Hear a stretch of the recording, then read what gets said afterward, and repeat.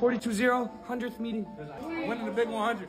That's running back in the state. Eli had three TDs. Yeah, we won. We going to the trip.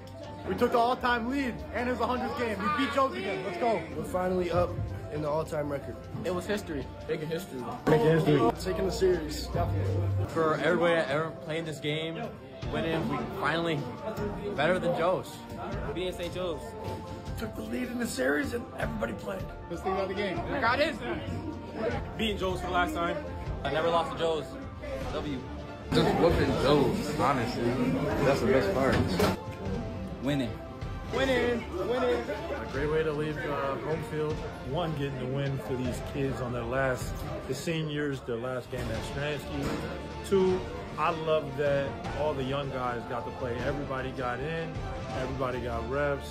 That's what it is. That's all. That's what it's about. Uh, it's my first time playing varsity, and I got to I got to get in the game. Best thing about the game, we got that win. It was fun. We Played as a team and we won. How we just scored. Keep playing. The score. Score.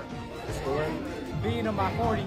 They got zero points. Zero, points on the board. First shutout of the year for our defense. But they ain't scored nothing. Not letting these boys score a touchdown. And most important thing, pancake season. Pancake. Blocking for my boy here. Amir Hernandez. Being St. Joe's and the 100th anniversary. Definitely watching them walk off the field. The offense and the defense doing great. Getting a field goal. Running the ball. They never not gonna play football again this year. Taking the lead in the series. honoring all those who wore the Canisius patch and being able to get the series lead. Took the lead in the series. You know what I'm saying? They can't say nothing for no more. We own the all-time series.